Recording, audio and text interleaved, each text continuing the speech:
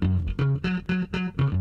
Una giornata per dare voce alle vittime della crisi e a chi in Italia vive in condizioni di indigenza. Libera e Gruppo Abele portano in piazza Montecitorio la campagna Miseria Ladra. L'occasione è la giornata mondiale per l'eliminazione della povertà. Dall'inizio della crisi del 2008 al 2013, se guardiamo i rapporti Istat, purtroppo la povertà è raddoppiata, quella relativa, la povertà assoluta è addirittura quasi triplicata. Abbiamo 10 milioni di persone che vivono in povertà relativa, significa vivere con 506 euro al mese o se si è in coppia con 770 75 euro al mese e abbiamo addirittura 6 milioni di persone in povertà assoluta, indigenti, cioè che non ce la fanno ad arrivare a fine mese, che sono considerate in deprivazione materiale grave. Siamo maglia nera in Europa per ciò che riguarda la povertà minorile, pensate 1.423.000 minori italiani e italiane in povertà assoluta. Una giornata per ribadire possibili soluzioni a livello locale, nazionale e comunitario, dal reddito minimo per una vita dignitosa all'uso sociale dei beni confiscati, dallo stop alle politiche economiche di austerity